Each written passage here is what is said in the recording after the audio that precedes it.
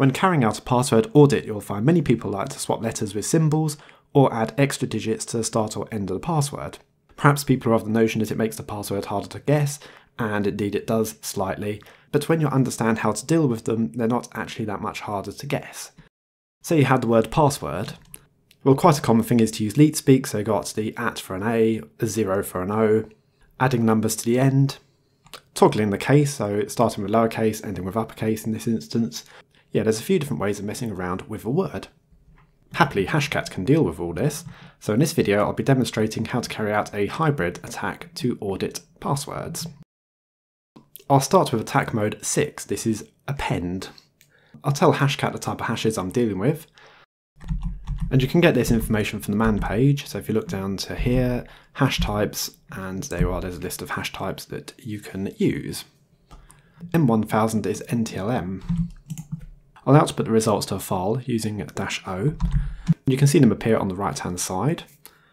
And now onto the hashes file, and then a word list. So I'll be using the English dictionary, a fairly chunky English dictionary, it's about 30 meg large. And now I can specify a certain mask to use, either typing in a literal word, word, or by using the mask set available in Hashcat. For example, question mark D is digit, so that'd be 0 to 9. Question mark S is symbol. Question mark L is lowercase. Question mark U is uppercase letters. Or question mark A is all of the above. Or you can specify a certain character set.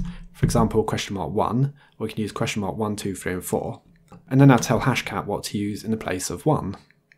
So either using a literal letter, so lowercase a or uppercase a, or using question mark D for digits and question mark S for symbols. And that's it, let's go for it. And that'll take um, probably not much time at all. But you can see we found a couple of more passwords, city 4 exclamation mark and town 88. In order to do a prepend attack, we switch to attack type 7 and then swap around the order of the word list and the mask. So do like question mark A and then the word list. Uh, this won't take any time at all, but I know it won't find anything because I don't have any passwords looking like that. But uh, just a small example there, we have um, pipe and the word. Now let's look at rule-based attacks, and I'll go across the websites to get a bit more information. So you can have certain rules you can write to switch around letters to words or, or add extra characters to the beginning or end. So there's quite a variety we can do. And I'll actually show you how to write these later on in the video. Yeah, it's just uh, to get an idea that these rules exist. And they can be processed by the graphics card, so it's actually quite a speed you can still get through auditing passwords. Not quite as good a speed as you'll get doing a straight word list, but it's potentially quicker than carrying out a brute force attack. Attack type 0 straight.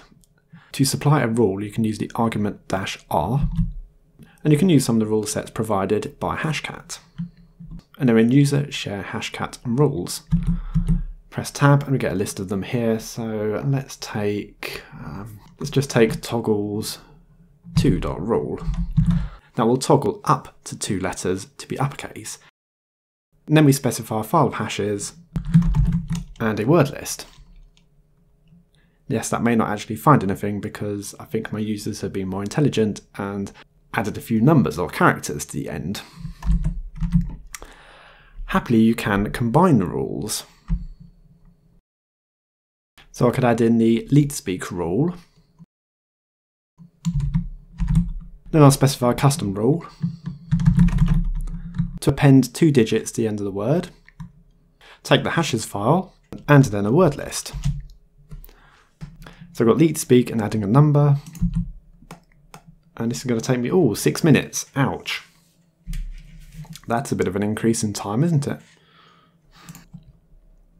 While Hashcat is running, I'll show you one of my favourite rule sets that I found on the internet. One called the Hobo Rules, or the D3AD Hobe zero rule. And yes, I do know what that says, but uh, yes, we have to be careful what we say sometimes on YouTube.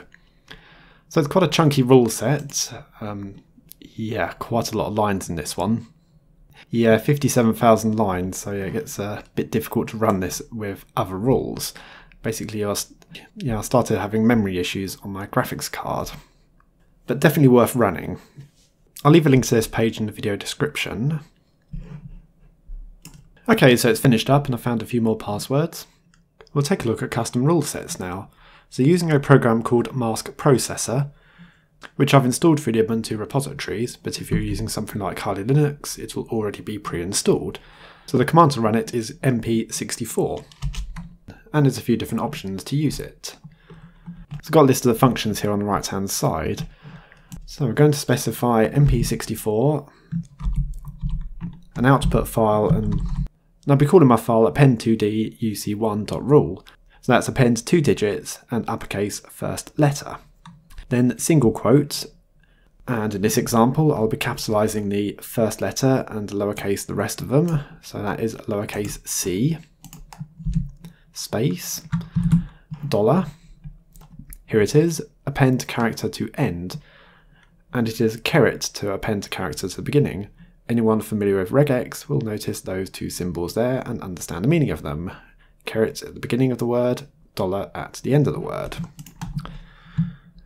So if I want to apply any digit, I will literally type question mark D. The masks are exactly the same as Hashcat uses. Got like question mark 1 and then be able to do dash 1 question mark D question mark S. For example, that would be digits and symbols. You'll notice there's only one digit here, and that's because I like to do 1 and 2 in one go. So I'll keep the same file name and it just appends it to the end of the file. Taking a look at the file, so you can see it has $0 to 9 and then $00 all the way down to $9.9. If you want to do 3, 4, 5 or even 6 digits, change your mask as necessary. And to show the rule in use, well, let's get rid of some of these since I don't need a toggle rule anymore. So pen 2D UC1 rule, the demo file and English dictionary. So, oh, I think it's finished already. Great. Yeah, I didn't actually get anything because, well, to be honest, it would have picked up Quicksilver, but I already had that earlier. But that can be quite useful if you're running through a massive word list.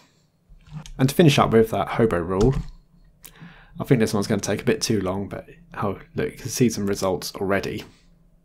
That's more like it for devastation of a hybrid password audit.